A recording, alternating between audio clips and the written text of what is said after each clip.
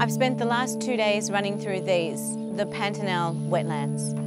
Wetlands that should be at this time of year completely underwater, but instead they're dry as a bone. It's devastating to see yet again the consequences of climate change and human activities like deforestation and over withdrawal of water, and the consequences that that is having in places of such incredible significance to all of us everywhere.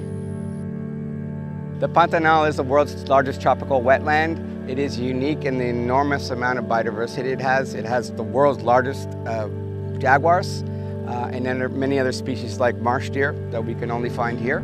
Uh, and it supports millions of people in the upper Paraguay basin, uh, which is shared by Brazil, Bolivia, and Paraguay.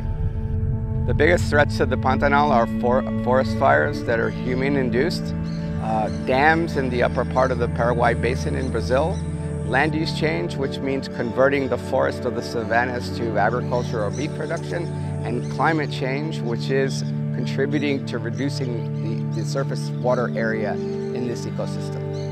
Sí, sobre el tema del agua dulce, el sitio Ramsar es agua dulce, significa, y este es el quinto humedal más importante del mundo.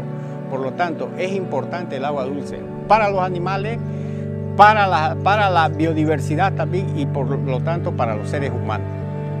El Pantanal, atravesando una crisis hídrica ya por tres años, eh, parte de esto con la responsabilidad del hombre, parte de esto responsabilidad del cambio climático. Son economías afectadas, son pueblos que dependen de la biodiversidad para subsistencia.